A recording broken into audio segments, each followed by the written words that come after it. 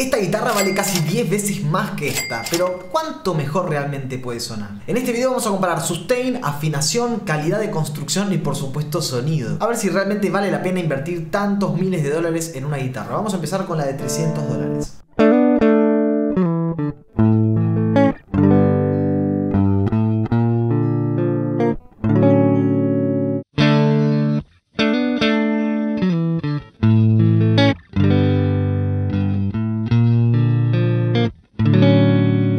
Quiero leer los comentarios a ver qué opinan de esto que acaban de escuchar. Y al margen de eso, es muy importante no solamente escuchar la, guitarra como un sonido aislado, como hicimos recién. Los guitarristas a veces nos quedamos mucho con eso, con el sonido puro. Pero después la guitarra suena en canciones, suena en un contexto de más instrumentos. Así que ahora vamos a escuchar cómo suenan ambas guitarras en una pista, con un sonido mucho más podrido, confuso. Y bueno, mi intuición es que acaba de haber menos diferencias, ¿no? Porque cuando uno pone más ganancia, generalmente tienden a sonar mucho más parecidas, más equiparadas las guitarras.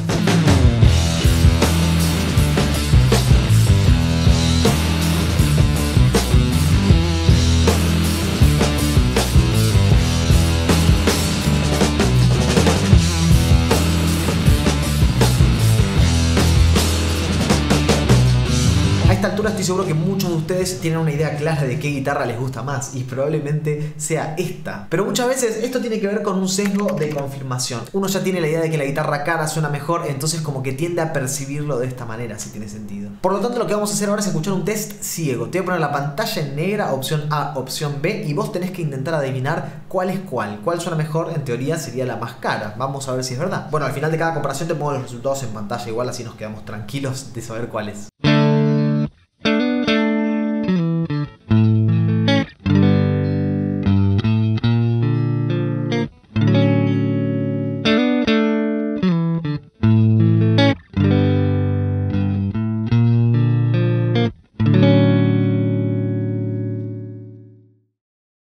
Hmm.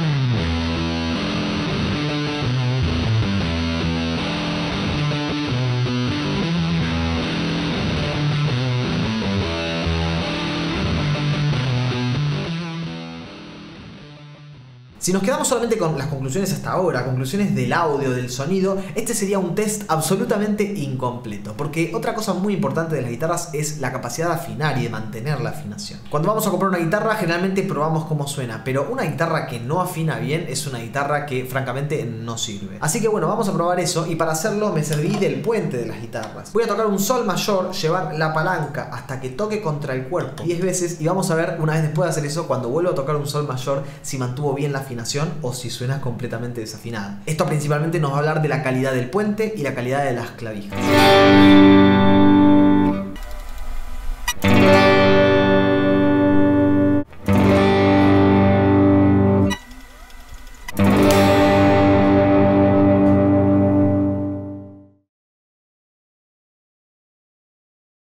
Vamos a comparar algo que le quita el sueño a muchos guitarristas, mucho más de lo que debería muchas veces, pero bueno, es el sustain. A todos nos ha pasado que tocando un solo venís a la parte más épica, ¿viste? Estirás hay una nota toda sentida, toda épica y de repente se apaga el sonido, te quedas sin sustain. Bueno, para comparar esto voy a lavar las guitarras completamente limpias, sin amplificador ni nada, y lo que voy a hacer es igualar el sonido de salida, porque puede haber diferencia entre los tipos de micrófono, y cuando la guitarra llegue a cierto decibel que lo voy a escribir acá en pantalla, que eso básicamente significa que va a ser inaudible, que ya prácticamente la nota no se escucha, ahí vamos a declarar que se terminó el sustain para esa guitarra, para esa nota. Vamos a hacerlo tres veces para cada guitarra. Bueno, pero ojo que quiero aclarar algo que a muchos les va a dar confusión. Este test solo se puede hacer porque son dos Stratocaster con un puente muy parecido. Los dos son puentes de estrato de dos puntos.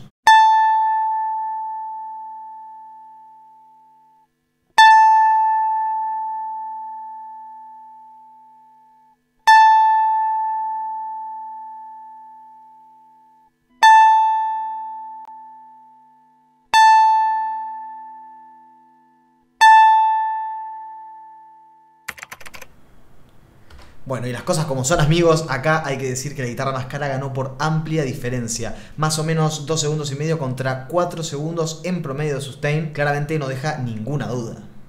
Si sos un fanático de las guitarras, también es necesario hablar de la calidad de construcción, porque acá es realmente notable. Esta es una guitarra hecha a mano. Vos imaginate que en todo detalle, todo recoveco que veas en la guitarra, tenés una terminación perfecta, un amor al detalle que pocas guitarras lo tienen, como lo dije en el video en que les presenté esta guitarra. Y si bien no hay nada mal con esta Schecter, con esta estrato blanca, la verdad es que, bueno, es una guitarra de fabricación en serie, ¿no? Hay muchas cosas que te hacen sentir cuando tocas esta guitarra y después te pones a tocar la otra, te hace sentir que la otra es de un nivel de calidad bastante superior. Y esto nos lleva a algo que es fundamental y es la experiencia del usuario, digamos, ¿no? Algo mucho más subjetivo, pero igualmente me parece importante traer mi experiencia y compartirles un poco qué me parece a mí tocar ambas guitarras, qué es lo que siento, qué es lo que me pasa. Y para eso tenemos que partir mencionando que yo ya tenía esta guitarra y sin embargo decidí mandarme a hacer la otra. O sea que esta claramente no era una guitarra que me parecía suficiente, una guitarra que me parecía lo suficientemente buena para mí. ¿Y por qué? Bueno, más allá de que la LA suena muchísimo mejor a mi entender, por lo menos que es mucho más cómoda, que la hice a mi medida y un montón de cosas más, quiero dar el ejemplo de que esta guitarra yo la tengo hace años y hace un montón de tiempo estaba juntando polvo en mi cuarto porque no sé, cada vez que la veo no me daba ganas de tocarla. No es una guitarra que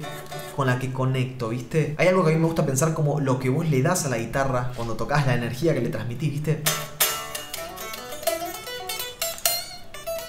En relación a cuánto te devuelve la guitarra en sonido, en dinámica, en facilidad de tocar, un montón de cosas. Y esto es lo menos tangible, ¿no? Lo más difícil de medir y darles una proporción de diferencia. Pero yo realmente siento que es un montón. Por eso me mandé a hacer esta guitarra, ¿no? Realmente la diferencia en gran parte radica ahí. Una guitarra hecha a medida, personalizada con todo lo que yo necesitaba en esta guitarra. Una terminación que vamos a decir, la verdad es facherísima esta guitarra. Cada vez que la veo, lo mencioné en el otro video, cada vez que la veo apoyada en alguna esquina de la casa, la agarro y me dan ganas de tocar. Eso es algo que también vale la pena mencionar porque si una guitarra te hace tocar más, es algo excelente, ni siquiera es bueno, es magnífico. Si quieres saber más sobre esta guitarra, la LA modelo Martín Biemi, tengo un video completo donde te cuento mi experiencia de trabajar con un luthier para construirla y básicamente todo lo que aprendí al hacerlo, que es un montón. Bueno, nos vemos allá.